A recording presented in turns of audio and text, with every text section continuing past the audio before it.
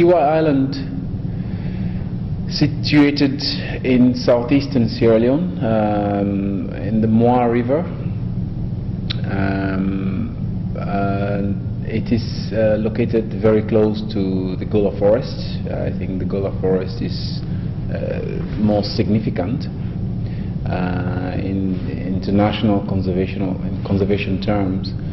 But Tiwai is a small island, about 12 square kilometers, with um, a very, very high diversity of primates, uh, about uh, 11 uh, primate species, including the Diana, red colobus, black and white, olive, um, and then we have chimps as well.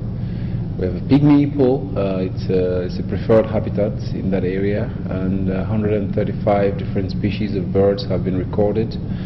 Uh, taxonomic study revealed that we have at least uh, 700 different plant species on Tiwai. So very rich for all kinds of purposes, especially biological research. Uh, it's um, increasingly becoming a very popular destination for ecotourists as well.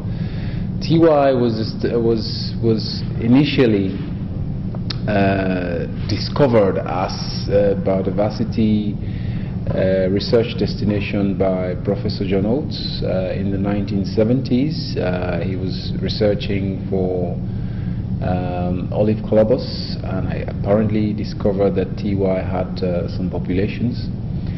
And of course, that initial expedition led to further, you know, um, efforts to conserve this, this sanctuary and of course going through a lot of community uh, uh, talking issues as a community because this place people used to farm there before. They used to mine. There's diamonds on Tiwai believe it or not.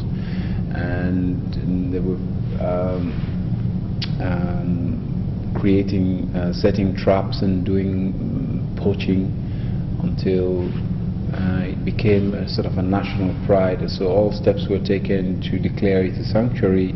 It took a, a few years, but they got there. And, and then in the early 80s, uh, early to mid 80s, uh, when it was already gazetted, uh, the conservation work began. And there was a lot of research ongoing until the war actually started in 1991 when the rebels first arrived in the area, all conservation work was abandoned and uh, a lot of people fled. Some of the staff and people living around the area were killed.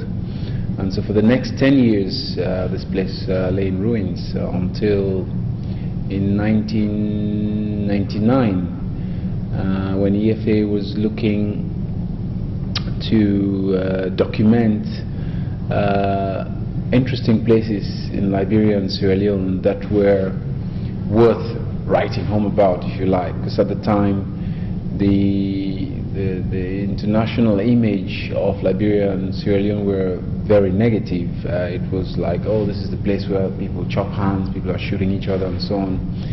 And coming into Europe at the, that time, my family lives, lived in Europe at the time, in Ireland, and every time I was coming and going, they were like, oh, you're going to this horrible place. And of course, I knew that there were horrible things happening there, but also this was a place that had a lot of beautiful places that were worth protecting. So um, we wanted to do a publication about uh, the, um, our natural heritage, and so Tiwai was one of those destinations, and that's how I discovered Tiwai. I had never been there before; I'd never even heard of it.